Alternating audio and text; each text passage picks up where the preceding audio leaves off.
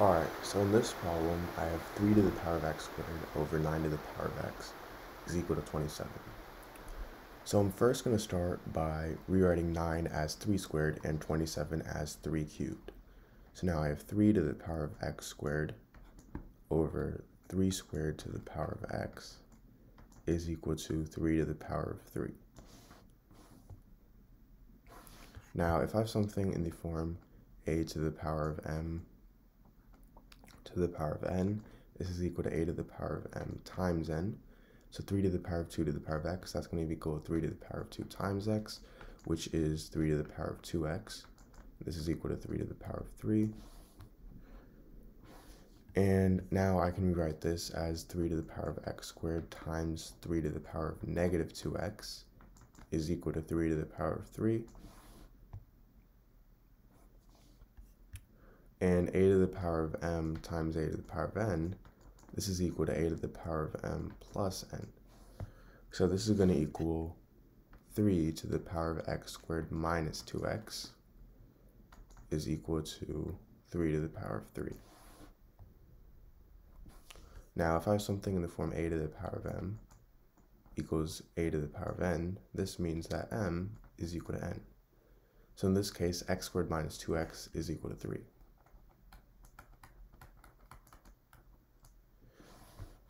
So now to solve this, I'm going to subtract 3 on both sides. So then these two cancel out. So now I have x squared minus 2x minus 3 is equal to 0. And now to solve this, I'm going to use the quadratic formula, which is negative b plus or minus the square root of b squared minus 4ac all over 2a. So in this case, a is 1, b is negative 2, and c is negative 3.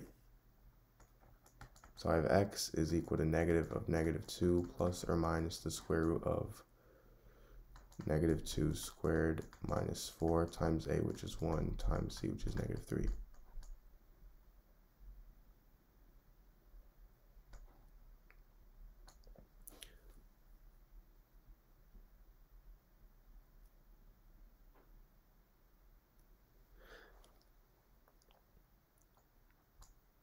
And I have this over 2a, so 2 times 1.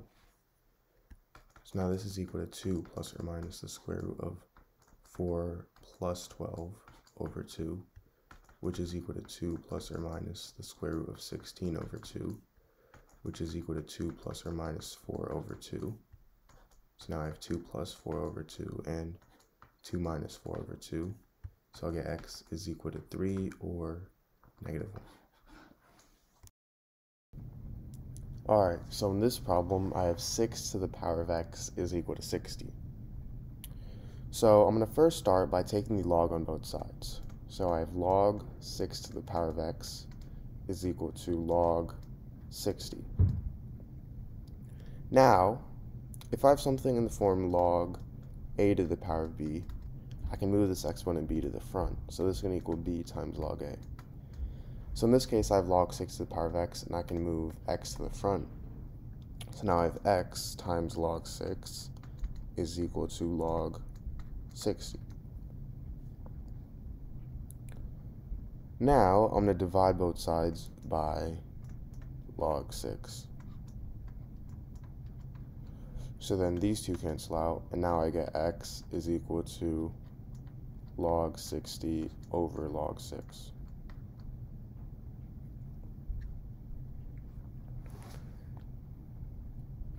Now log 60 I can rewrite as log of 6 times 10. So I have this over log 6. And if I have something in the form log of a times b, this is equal to log a plus log b. So log 6 times 10 is going to equal log 6 plus log 10. And I have this over log 6. So now, this is the same thing as log 6 over log 6 plus log 10 over log 6.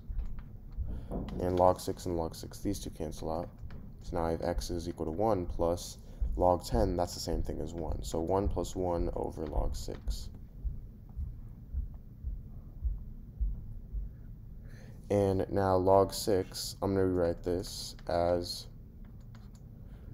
log of 2 times 3. So this is going to equal 1 plus 1 over log 2 plus log 3. So now log 2, that's equal to 0 0.301 plus log 3, that's equal to 0 0.4771. So if I add these two together, I get x is equal to 1 plus 1 over 0 0.7781. And now 1 divided by 0 0.7781, that's equal to 1.2852. So now 1 plus 1.2852 is 2.2852. Alright, so in this problem, I have m squared minus m to the power of 3 is equal to 12. So to solve this, I'm going to first add m to the power of 3 on both sides and subtract m squared on both sides. So then these two cancel out, and now I have 12 plus m to the power of 3 minus m squared is equal to 0. Now I'm going to rewrite this as m to the power of 3 minus m squared plus 12 is equal to 0. Now, to actually solve, uh, to, actually find the solutions for, all the solutions for this equation, I need to first start by finding one and use that one solution to find the other ones. So we're going to do that by just simply plugging in values until we find 1. So if we start with 1, well, obviously if we plug in 1, it wouldn't work. 2, if we plug in 2, we have 2 to the power of 3, which is 8. 8 minus 4 is 4. 4 plus 12 is 16. 16 does not equal 0. But negative 2, let's see negative 2. So I have negative 2 to the power of 3 minus negative 2 squared plus 12 is equal to 0. Negative 2 to the power of 3 is negative 8. And negative 2 squared is 4 so I have negative 4 plus 12 is equal to 0. Negative 8 minus 4 is negative 12. So I have negative 12 plus 12 equals 0, meaning negative 2 is a solution. So now that I know that negative 2 is a solution, I can use this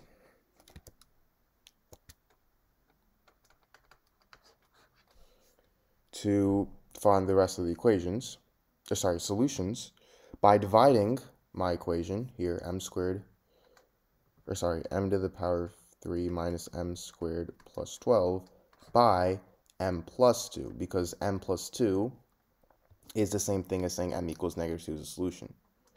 So this is the same thing as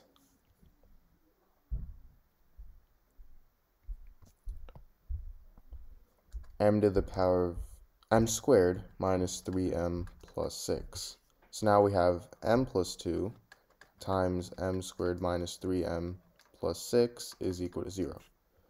So now to solve this, we have two equations. m plus 2 is equal to 0, and m squared minus 3m plus 6 is equal to 0. So obviously from m plus 2 equals 0, we already know that m equals negative 2. We already found the solution out. But from m squared minus 3m plus 6 equals 0, we have to use the quadratic formula. And I'm not going to waste you guys' time by actually plugging everything in, but you should get that m is equal to 3 plus or minus the square root of 15i over 2.